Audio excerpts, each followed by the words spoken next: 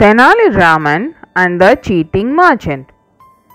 Raman met a friend who had just returned from a visit to the temple town of Benares.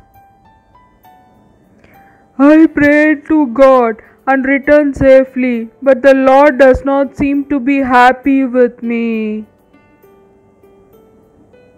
said the friend. What happened? asked Raman.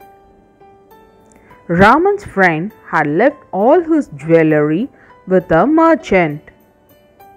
On his return from Benares, when he went to collect it, the merchant said, What jewelry? When did you give it to me? I don't remember anything. Raman's friend was in tears. I know he is lying, but I can't prove it. Raman knew at once the merchant had cheated his friend. Don't worry, I will meet the merchant in the morning. You come there at the same time. He will return the jewelry to you, Raman said.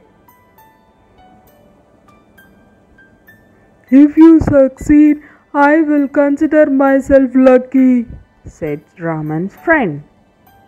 The next morning, Raman called on the merchant. I am leaving town for a few days. I want to leave my treasures with you for safekeeping, said Raman. The merchant readily agreed. He heard on about the Raman's collection of gems.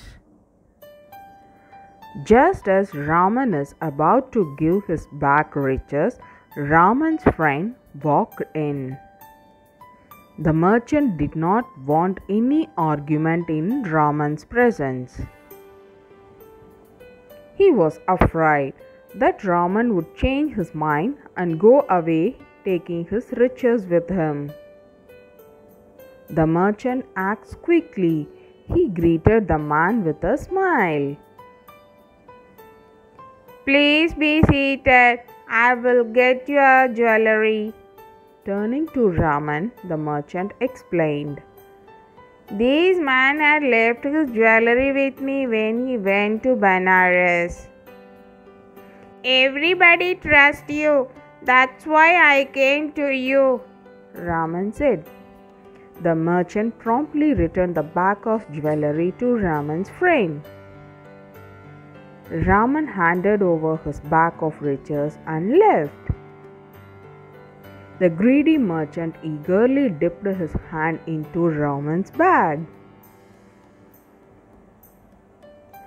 There seemed to be a necklace, but when he took his hand out, he saw it was a necklace of tulsi beads. Raman had outwitted the cheating merchant.